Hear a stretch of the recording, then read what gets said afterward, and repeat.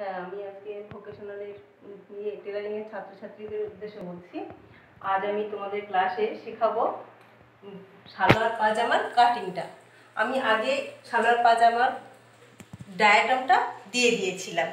সেহেতু আজকে শুধু একটু এঁকেছি, এঁকে সেইটা কাটিং দেখানোর জন্যে সাদা পেপারে আমি ঝুল টুল সব দেয়া আছে, এখানে আঁকা আছে জাস্ট এবারে ওই আঁকাটা, মাপগুলো যেহেতু আগে আমি দিয়ে মানে দিয়ে দিয়েছিলাম, সূত্রগুলো সব কষে দিয়েছিলাম।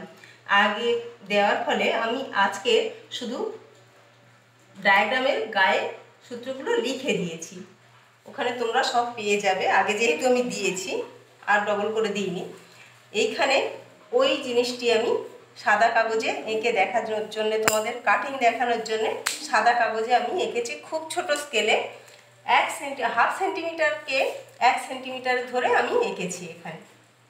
এখানে এক ইঞ্চি হাফ মানে সেমি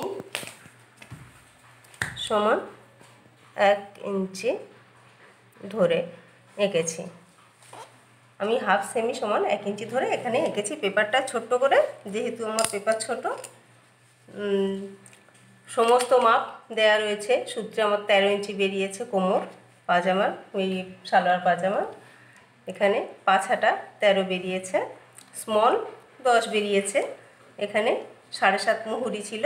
ঝুল ঝুল মোট ঝুল, যুক্ত দু ইঞ্চি ফ্রিল আর এক ইঞ্চি প্লেট সমান তেতাল্লিশ ইঞ্চি হয়েছে। পরিষ্কার দেয়া রয়েছে পেপারটাতে।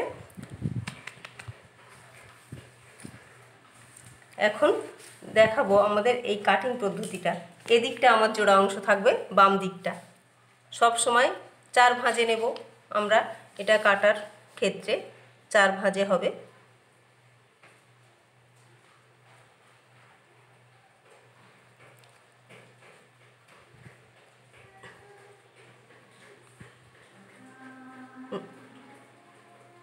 চার ভাঁজে কাটা হবে।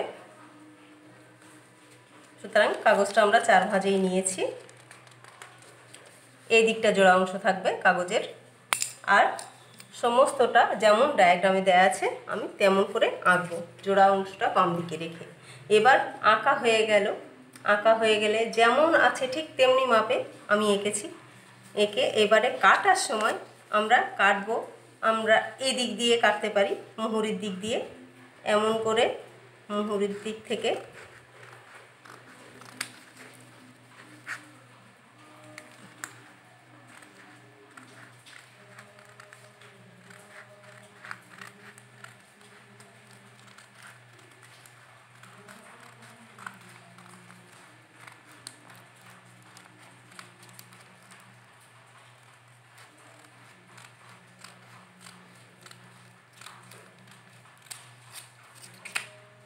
যেহেতু এই কাটা হয়ে গেল, আমরা পাবো এইটা জিনিসটা।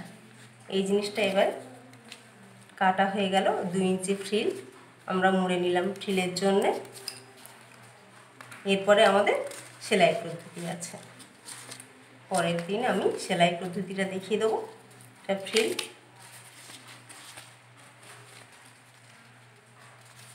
সোজা দিক ভিতরে রেখে সব সময় আমরা উল্টো দিকে সেলাই পদ্ধতি মানে সেলাই করার পদ্ধতি। এটা জানি।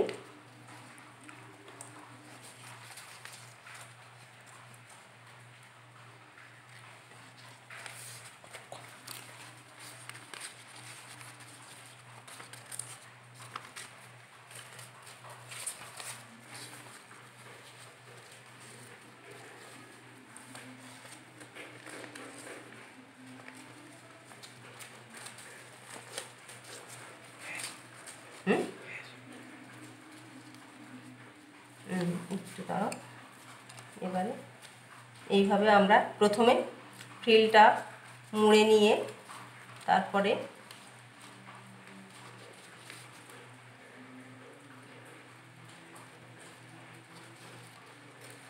আমরা প্রথমে হাই পর্যন্ত জুড়ব। সেলাই পদ্ধতির সময় আবার বলে দেবো তোমাদের।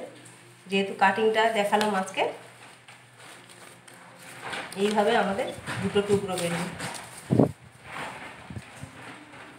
চার ভাঁজে কাটবো। এইভাবে তোমরা কাটিংটা করবে।